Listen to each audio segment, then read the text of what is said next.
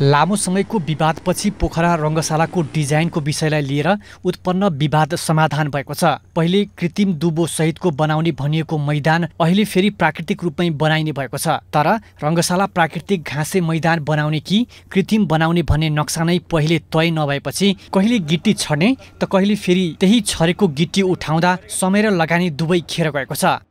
हाम्रो लागि चाहिँ के हुन्थ्यो भन्दा यो नहाल्दै अथवा डिजाइन छिटै गरिदिए भए हामी आर्टिफिसियलमा जाँदा हामीलाई कुनै आपत्ति हुन्थेन। हाम्रो लागि त यो दोहोरो काम भएर एक त खर्च दोस बढी भयो। दोस्रो हामीले समयमा नभ्याउने हो कि भन्ने पनि चिन्ता आयो। त्यसले गर्दा चाहिँ गाह्रो भएको।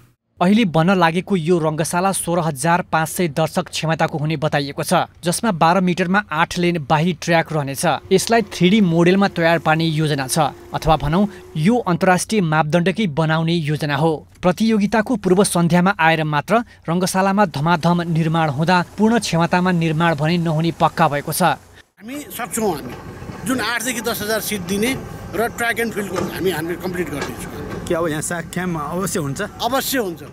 उसो त युवा तथा खेलकुद मन्त्री जगत विश्वकर्माले पोखरा आइपिच्छे पोखरा रङ्गशालाको स्थलगत अवलोकन गर्ने गर्छन्। समयमै निर्माण पुरा हुने आश्वासन ठेकेदार कम्पनीबाट आएको मिडिया सामु बताउने गर्छन्। अहिले फिल्डमा पनि निर्माण काम जुन तीव्र गतिमा अगाडि बढी राखेको छ अब यसले हामी यो विश्वास लिन सक्छौँ।